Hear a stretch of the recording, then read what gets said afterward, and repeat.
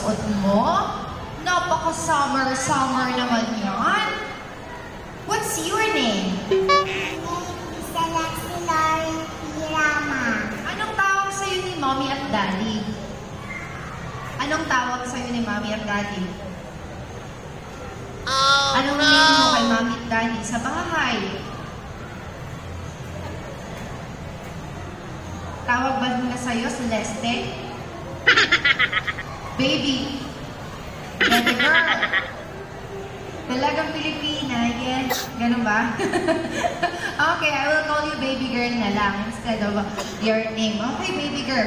So, mahilig ka bang mag-dress up? Ang ganda naman ang suot mo. Sinong pumili niyan? Si Mama. Nasaan si Mama? Mama, nasan ka? Mama?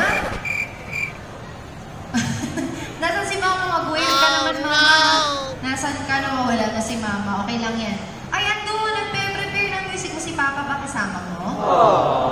Ah, si Mama lang. Okay, mahilig ka bang mag-dance? Mahilig ka bang mag-dance? Mahilig ka sumayaw?